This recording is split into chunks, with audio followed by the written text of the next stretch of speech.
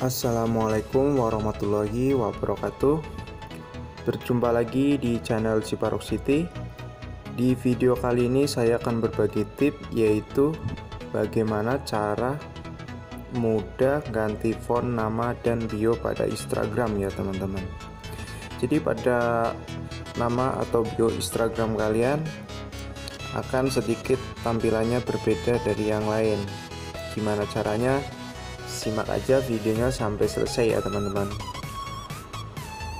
Oke kita langsung cek aja. Di sini Instagram saya.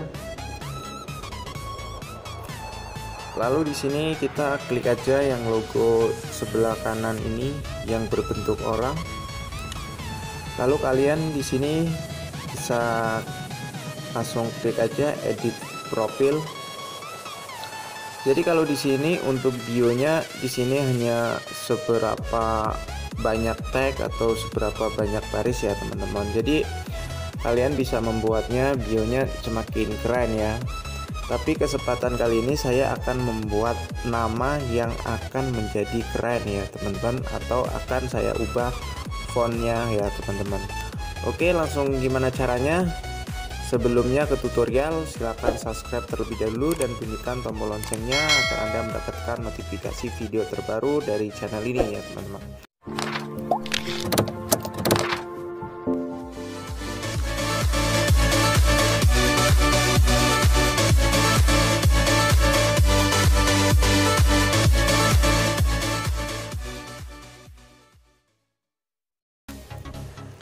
Ini saya biasanya menggunakan Google Chrome ya teman-teman. Jadi kalian bisa menggunakan Google apa aja atau browser apa aja. Jadi kalian di sini cari aja website atau kalian bisa juga ketik aja kopas font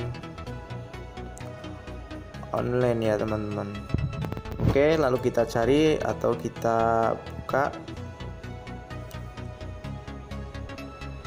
Nah ini tampilannya sudah masuk seperti ini jadi kalian bisa cari aja website mana yang kalian buat yang mana yang kalian akan gunakan. Jadi saya akan menggunakan yang bagian nomor 2 ini ya teman-teman. Kita klik aja. Seperti ini tampilannya.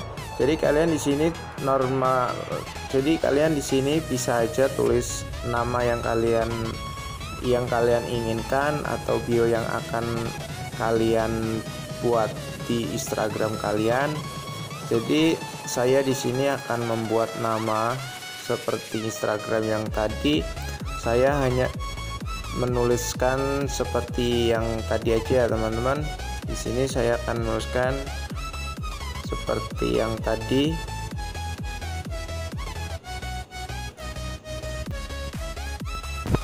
Lalu kalian di sini kalau sudah seperti ini atau yang sudah kalian buat, jadi kalian turun aja ke bawah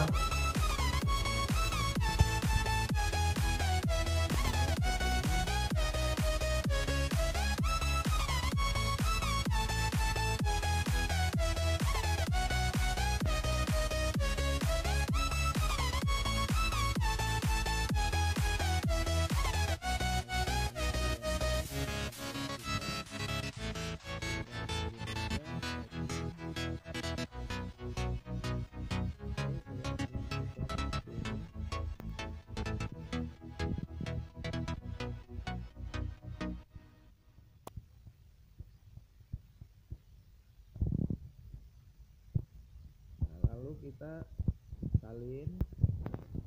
Lalu kita buka lagi Instagram.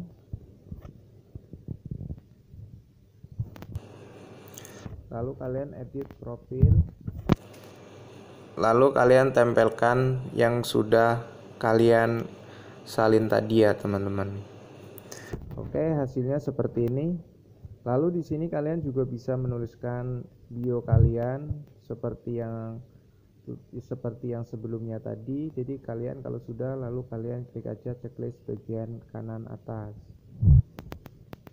dan ini sudah ada hasilnya seperti ini ya teman-teman cukup mudah kan tanpa aplikasi dan tanpa ribet jadi tutorialnya sampai di, di sini aja saya tutup dan terima kasih yang sudah nonton video ini. Assalamualaikum warahmatullahi wabarakatuh. Sampai jumpa di video berikutnya.